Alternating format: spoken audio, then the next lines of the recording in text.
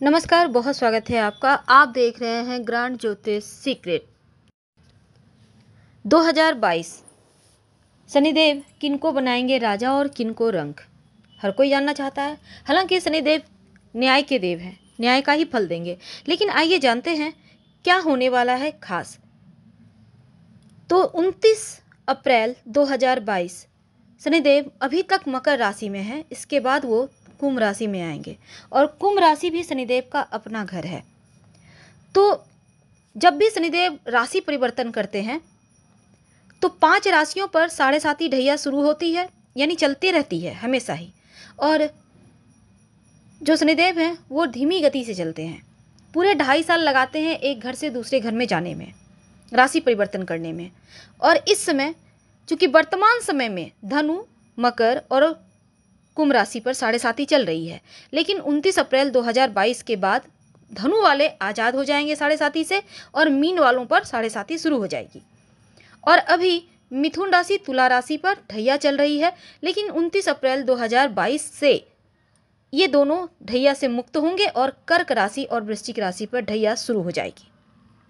तो चलिए जानते हैं, क्या होगा 2025 तक आप सभी राशियों के ऊपर इसका प्रभाव। तो मेष वालों, शनिदेव आपके दसम भाव और ग्यारहवें भाव के स्वामी हैं।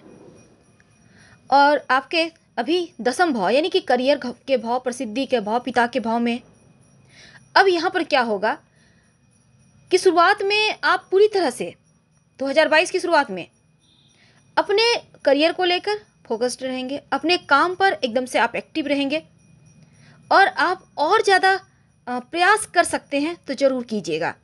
क्योंकि ये समय ऐसा है, जिसका जितना ज़्यादा फल उठा पाएँगे, फ़ायदा उठा पाएँगे, उतना ही आपके हक में आएगा। लेकिन आपके कार्यस्थल पर जो आपके सीनियर है, बेवजह आपको थोड़ा परेशान कर सकते हैं। इसके कारण थोड़ा तनाव हो सकता है, इसका ध्यान रखेंगे। अब कुंडली का जो दसम भाव है, वो पिता का भाव होता है, इसलिए पिता के स्वास्थ्य में छोटी मोटी परेशानी, समस्याएँ रहेंगी। ध्यान रखें। जो वृषभ वाले हैं, उनके लिए ये आपके नौवें भाव और दसम भाव के स्वामी हैं। और शुरुआत में शनिदेव आपके नौवें भाव में, यानी शिक्षा के भाव, अध्यात्म के भाव, भाग्य के भाव में हैं, लेकिन उनतीस अप्रैल से वो आपके दसम भाव में चले जाएँगे। तो आप जो विद्यार्थी हैं, शुरुआत से ही आपका पढ़ाई लिखाई पे फोकस है। आपको सीनियर का साथ मिलेगा, धर्म कार्य कीजिएगा अपनी रुचि और अपने करियर के मामलों में आप अलग अलग लोगों से मिलने जुलने में आपका समय भी व्यतीत होगा। हालाँकि इस समय धैर्य की आवश्यकता होगी क्योंकि बहुत सारे कार्यों में, प्रगति में आपको थोड़ी बाधाएँ सामना बाधाओं का सामना करना पड़ेगा। हालाँकि सस नामक महापुरुष राजयोग बनाकर चलेंगे, लेकिन फिर भी थोड़ा संभल के। मिथुन राशि, अभी चल रहा है आपके ऊपर ढैया। और ये ढैया आपका उनतीस अप्रैल 2022 तक जारी है। शनिदेव आपके अष्टम भाव अभी वर्तमान में हैं और आपके अष्टम और नवम भाव के स्वामी भी हैं। तो आपके उनतीस अप्रैल के बाद वो आपके नवम भाव में, भाग्य के भाव में जाएँगे और आपकी ढैया समाप्त हो जाएगी। तो यहाँ पर क्या होगा? देखिए आपको बस ये समझना है कि आप अलगाव की स्थिति को दूर करने का प्रयास करें, चाहे वो कैसी भी अलगाव हो। धन के मामलों में आपका थोड़ा खर्चा तो बढ़ाएगा, लेकिन धन के मामलों में एक और है, दूसरे भाव में जाने से यहाँ पर जो दृष्टि होगी, धन का प्रतिनिधित्व करता है तो धीरे धीरे ही सही पर धन आता रहेगा। हाँ थोड़ा सा अपने स्वास्थ्य का भी ध्यान रखिएगा। कर्क राशि।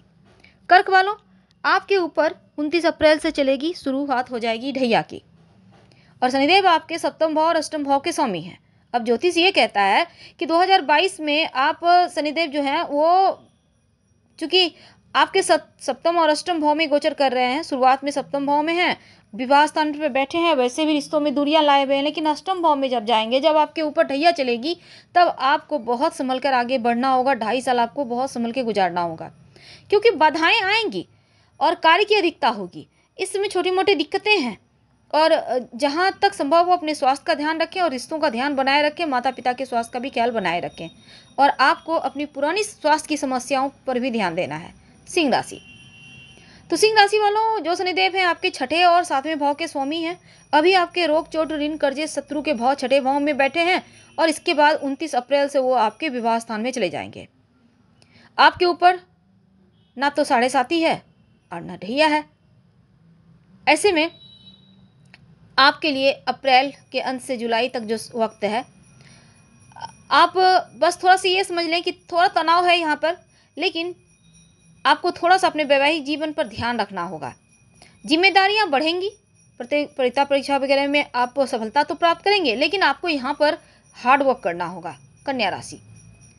आपके ऊपर ना तो साढ़े साथी है, न ढैया है। इस समय आपके पंचम भाव में विराजमान है। आपके पंचम और छठे भाव के स्वामी हैं शनिदेव। अब उनतीस अप्रैल से आपके छठे भाव में जाएँगे। तो क्या होगा?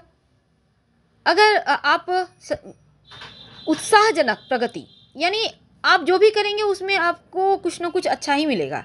बस एक रणनीति बनाकर आगे बढ़ जाइए। जो विद्यार्थी हैं 2022 उनके लिए बहुत अच्छा है। एकाग्रता के साथ आप पढ़ाई कीजिए। बुरी संगति, बुरी आदतों से दूरी बनाकर रखने का प्रयास करें। थोड़ा सा स्वास्थ्य का ध्यान रखें, क्योंकि बहुत अच्छा नहीं दिखता। रोग, चोट, ऋण, कर्जे, शत्रु के भाव में जाएँगे तो थोड़ा सा संभल के रहना है। तुला राशि। शनिदेव, आपके चौथे भाव और पंचम भाव के स्वामी हैं। अभी वर्तमान में चौथे भाव में है, आपके ऊपर चल रही है ढैया। उनतीस अप्रैल 2022 से आपकी ढैया समाप्त हो जाएगी, आपके पंचम भाव में प्रवेश करेंगे। यानी शिक्षा, रोमांस, रचनात्मकता का भाव। अब यहाँ पर क्या होगा? भवन संपत्ति, प्रॉपर्टी की प्राप्त होने की संभावना बढ़ेगी, खुद का मकान वगैरह हो सकता है इस समय। आप बस अपने माँ के स्वास्थ्य का थोड़ा ख्याल रखिएगा। और बेवजह के खर्चे बढ़े हुए हैं तो थोड़ा सा खर्चों पर कंट्रोल रखें। हालाँकि विद्यार्थियों के लिए ज़्यादा अच्छा वक्त है। पढ़ाई पर और ज़्यादा मेहनत करें तो बेहतर परिणाम प्राप्त होंगे। थोड़ी बहुत स्वास्थ्य से जुड़ी समस्या रहेगी, इसका आपको तो ख्याल रखना ही होगा, क्योंकि स्वास्थ्य की समस्याओं से बचना अति आवश्यक है। बात करते हैं वृश्चिक राशि की। वृश्चिक वालों शनिदेव आपके तीसरे भाव, जिसको हम साहस प्रक्रम का भाव कहते हैं, और चौथे भाव के स्वामी हैं। शुरुआत में आपके तीसरे भाव में उनतीस अप्रैल तक। लेकिन उनतीस अप्रैल से वो आपके चतुर्थ भाव में जाएँगे और आपके ऊपर शनिदेव की ढैया शुरू हो जाएगी। तो चौथे भाव में जब वो रहेंगे, तब आपके लिए बहुत अच्छा नहीं है, क्योंकि इसमें जब ढैया शुरू होगी तो आपको मेहनत ज़्यादा करना होगा, अपने स्वास्थ्य का ध्यान रखना होगा, रिश्तों का ध्यान रखना होगा, माँ के स्वास्थ्य में कष्ट है, उनका ध्यान रखना होगा। तो थोड़ा सा यहाँ पर आपको ध्यान से चलना होगा। हालाँकि पद प्रतिष्ठा बढ़ेगा, लेकिन फिर भी धीरे धीरे चीज़ें ठीक होंगी, इसलिए आप जितना ज़्यादा संभल के रहेंगे, उतना अच्छा है। जो धनु वाले हैं, उनके लिए शनिदेव धन भाव में अभी वर्तमान में चल रहे हैं और आपके द्वितीय और तृतीय भाव के स्वामी हैं। तो अभी वर्तमान में है और साढ़े साथी का अंतिम चरण चल रहा है। उनतीस अप्रैल 2022 के बाद आपकी साढ़े साथी समाप्त हो जाएगी और आप पूरी तरह से आज़ाद होंगे। तो यहाँ पर देखिए, जब साढ़े साथी आपकी समाप्त होगी, तब धन के मामलों में धीरे धीरे आप पर बेहतर करेंगे, संतान प्राप्ति के योग बनाएँगे। और इसमें सिर्फ़ आपको ये बात ध्यान रखना है कि ज़रूरत से ज़्यादा किसी पर भरोसा ना करें और ज़रूरत से ज़्यादा उधार देन लेन से बचें। क्योंकि यहाँ पर थोड़ा सा आपको संभल के चलने अति आवश्यक है क्योंकि जाते जाते शनिदेव थोड़ा परीक्षाएँ लेती हैं तो उतावलापन से बचिएगा और किसी पर भरोसा करने से धोखा भी खाने के योग बनेंगे। तो जटिलताओं से बचने के लिए अपने स्वास्थ्य का भी बेहतर ख्याल बनाए रखें। मकर राशि। अभी आपके लग्न में बैठे हैं और उनतीस अप्रैल 2022 को आपके द्वितीय भाव में, धन भाव में जाएँगे। तब आपकी साढ़े साथी अंतिम चरण में चलेगी। अभी आपके साढ़े साथी छाती पर चल रही है। तो अप्रैल से जब वो 2022 में आपके धन भाव में जाएँगे, तब क्या होगा? देखिए, अभी जो पहले भाव में है और किसी भी प्रकार का किसी को कर्ज देने से बचें, अभी का ये समय, क्योंकि बेवजह खर्चे भी बढ़ा हुआ है तो नकारात्मक होने से भी बचें। मानसिक तनाव है थोड़ा सा, इनसे बाहर निकलिए, क्योंकि थोड़ा सा गड़बड़ दिख रहा है। छाती पर चल रहा है, साढ़े साथी इसलिए नियमों का पालन करें, मेहनत करें और किसी के भरोसे ना रखें। बुरी संगति से दूर रहें, बुरी आदतों से दूरी बनाएँ, वरना आप बुरे फंस जाइएगा। कुंभ राशि। आपके बारहवें और लग्न के स्वामी हैं। अभी वर्तमान में आपके बारहवें भाव में चल रहे हैं और उनतीस अप्रैल 2022 को आपके लग्न में आएँगे। अभी आपकी साढ़े साथी का पहला चरण है और उनतीस अप्रैल 2022 को आपके साढ़े साथी छाती पर चलना शुरू होगा। तो आपके लिए बस ये समझ लें कि जो विद्यार्थी हैं, विदेश जाना चाहते हैं पढ़ाई लिखाई के लिए ट्राई कर लीजिए। उनतीस अप्रैल तक बहुत अच्छा वक्त है।